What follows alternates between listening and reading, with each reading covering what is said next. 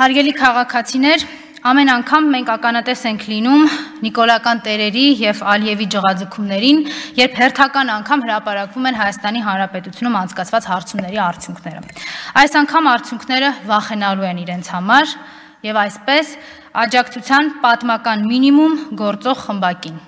Հիմա խառնվել են իրար, շտապում են եւ շատ են շտապում, որովհետեւ Նիկոլի համար պողպատե մանդատ կազմակերպել էին, որpիսի հլու հնազանդ հանձնի Արցախն ու Հայաստանը։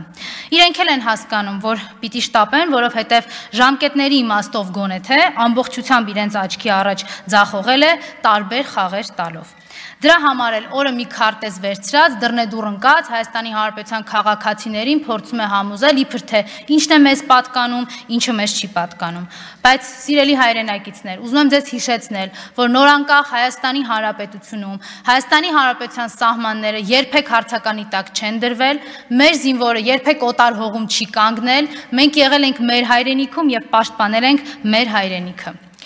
Հայաստանը 30 տարի իր ամբողջ ռեսուրսով երաշխավորն է եղել Արցախահայության ու Արցախ հանրապետության, պահելով նաև նոր անկախ Հայաստանը։ Մենք անվտանգ էինք, ուժեղ եւ իրապես ինքնուրույն։ Իսկ հիմա անցած շաբաթվա Նիկոլական Եվրովիժնի մասին, եթե դա այդպես կարելի անվանել։ Դուք տեսաք թե Հայաստանին ինչպես են վերաբերում, դե մի քանի կոպեկ կշպրտենք եւ վերջ։ Մի քանի կոպեկ կշպրտենք Արցախը կուրանան, մի քանի կոպեկ կշպրտենք Հայաստանից բնակավայրեր կծախեն։ Մեզ ասում էին, թե գնում են Բրյուսել անվտանգության յետևից, զրո պայմանավորվածություն անվտանգության մասին։ Դե Ալիևից են վախեցել։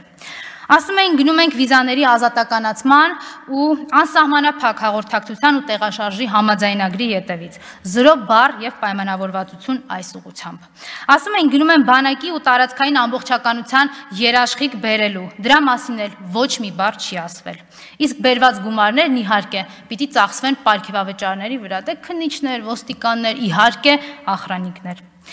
90-ականների նոր ստեղծված հանրապետությունն անգամ ավելի հուսալի գործընկեր էր, քան այսօրվա խապկանքն է։ Էլ չասեմ, որ նախկինների Հայաստանում, նախկինների կնքած սեպայով միայն նախատեսվում էր մի քանի միլիարդ դոլար։ Կասեք ինչի ամեն ինչ հենց այսպես։ Կասեմ, Պատճառը ձախողված, պարտված, սեփական ազգին նվաստացման ճանապարհող տանող կառավարությունն է եւ օրեցօր սեփական ժողովրդի կողմից ել ավելի ատելի դարձողը, որը երբեք որպես գործընկեր դիտվել չի կարող եւ ոչ մեկի կողմից։ Այսպիսով Նիկոլի քաղաքական շպագատն ամբողջությամբ բացված է։